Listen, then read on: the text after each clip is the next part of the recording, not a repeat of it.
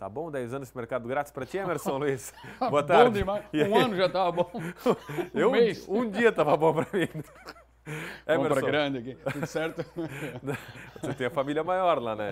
Já come, a gurizada come mais já, né, Emerson? É, a rotina é grande, nunca vi disso, tá louco. Vou deixar você contar as notícias aí, né? A felicidade é porque né, os nossos times estão indo bem nos campeonatos, então a gente é, fica passaram feliz, de né? fase aí, todos os cariocas. Tá bom, vou contar, vou deixar você contar então todas as notícias aí desta quinta-feira. Vai lá, Vamos ficha. lá então, Rodrigo.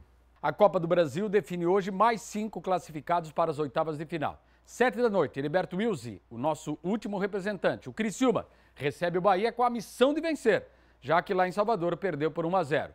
Mesmo horário, 7 horas, Ribeirão Preto tem Botafogo e Palmeiras. Na ida deu Verdão, 2 a 1. 7 e meia, Arena Pantanal, Cuiabá e Goiás. Primeiro jogo deu Goiás, 1 a 0. 9 e meia, Castelão, Ceará e CRB. Na ida, 1 a 0 para o CRB em Alagoas.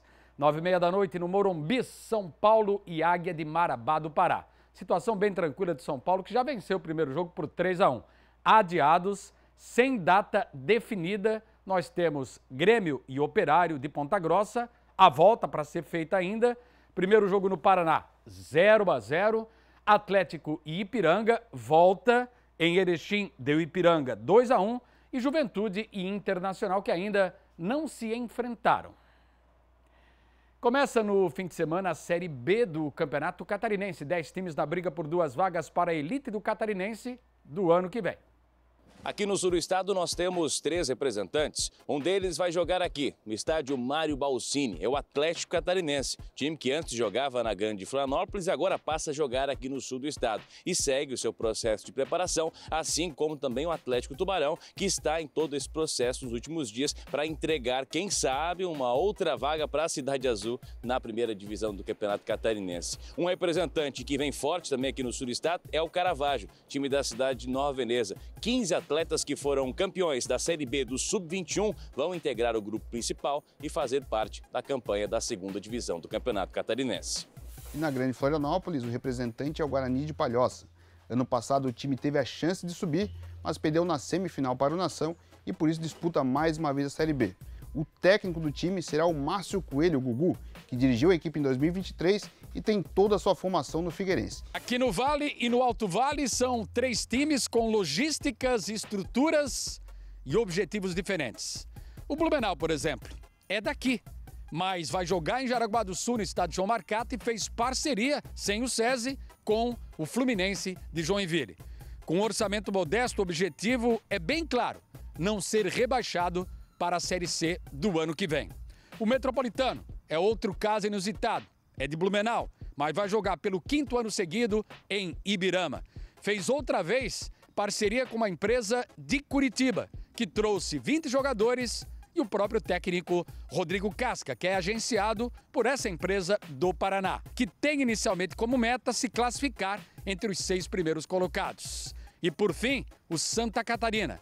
Aí vem um contraste. Time de Rio do Sul, identificado como estádio próprio municipal, 30 dias treinando em São Paulo, fez cinco jogos treinos, 18 contratações, quatro remanescentes e esse Santa chega muito forte para brigar por uma das duas vagas para a elite do ano que vem. E aqui no norte do estado, o representante é o Juventus, o moleque travesso de Jaraguá do Sul, que já iniciou os preparativos, a montagem e toda a organização desse elenco desde o término da Série B do ano passado. Também temos o Camboriú e o Carlos Renault. A Cambura foi rebaixada ano passado. O treinador Quinho Forgiarini está no comando e o goleiro Zé Carlos, de 38 anos, é o destaque da equipe. Já o vovô de Santa Catarina, o Carlos Renault de Brusque, ainda segue sonhando com a volta para a elite do estadual. E aqui em Blumenau teve início o Campeonato Feminino de Kart, esporte que vem crescendo entre as mulheres. É comum ver homens nas pistas de corrida pelo mundo todo, em busca de realização profissional, adrenalina, superação, motivação ou até mesmo por hobby. Mas em busca disso também estão as mulheres. Elas têm dominado as pistas por toda a região e querem a liberdade de praticar esportes como o karting, seja como hobby ou até mesmo por realização pessoal. Em Blumenau, as competidoras começaram a praticar esse esporte recentemente, mas muitas já dominam o carrinho e não perdem nenhuma competição. Eu corro faz uns dois anos, mais ou menos, incentivo do Machado, meu pai, e eu gosto bastante. É um esporte bem diferente, bem estimulante. Esse instrutor conta que o esporte é um dos que mais vem crescendo nos últimos anos. O amor pela velocidade explica esse crescimento, mas não é só isso. Para ele, o karting desenvolve diversas habilidades nos praticantes.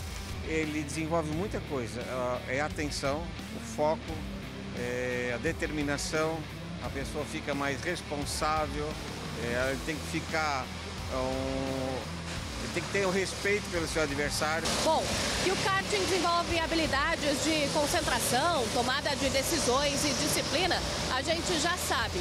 Agora, o que a gente vai descobrir é que ele também ajuda a aumentar a autoestima das mulheres.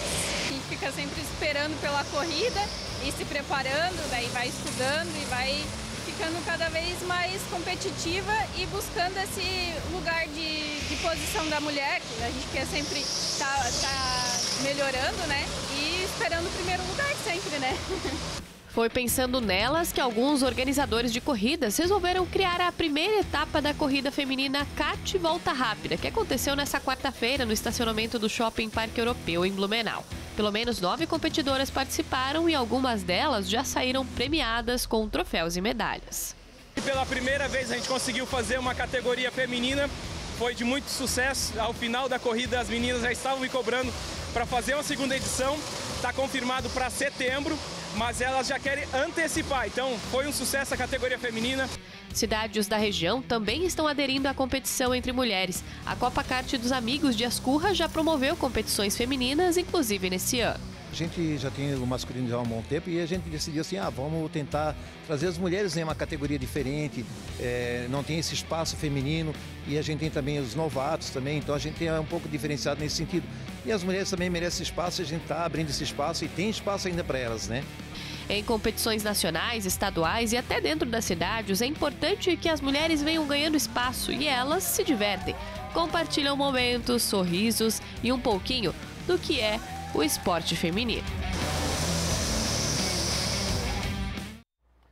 Que legal, que bacana, que tenha sucesso durante toda a temporada. E hoje, aproveitando esse gancho aí de kart, e todos que foram para a Fórmula 1 começaram, passaram pelo kart, aniversário de 52 anos de Rubens Barrichello. 52 fez é, o Rubinho? Isso. Então tá bom, felicidades a ele, né? Muita saúde. Emerson, até amanhã? Até amanhã, Rodrigo. Um abraço a todos. Valeu. Até. Amanhã a gente Valeu. vai ver aquela estrutura do Barra. Bonito. Que coisa, hein? Nós aqui não temos isso em Blumenau, Balneário Camboriú tem. Foi muito esperto lá o Barra, porque fez uma parceria com uma empresa alemã, com um clube alemão, Wolfenheim. Amanhã essa reportagem. E a nossa cidade é alemã, mas não fez essa parceria, não existe esse tipo de parceria. Mas o Barra tem, a gente vai mostrar amanhã. Valeu, até amanhã. Valeu. abraço.